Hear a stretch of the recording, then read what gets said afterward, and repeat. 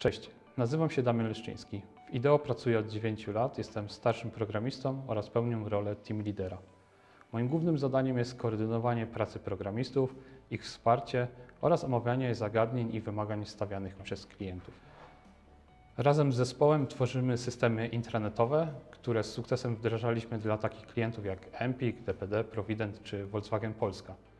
Tworzymy również systemy e-learningowe, które w ostatnim czasie wdrażaliśmy dla Lubelskiego Centrum Innowacji i Technologii oraz dla wydawnictw szkolnych i pedagogicznych.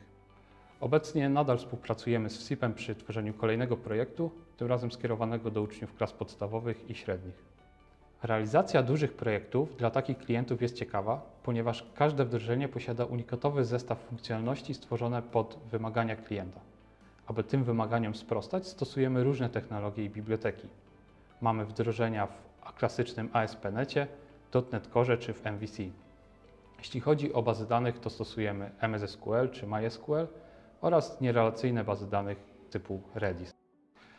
Na sukces wdrożenia pracują nie tylko programiści backendowi czy frontendowi, ale również kierownicy projektów, testerzy, graficy czy administratorzy.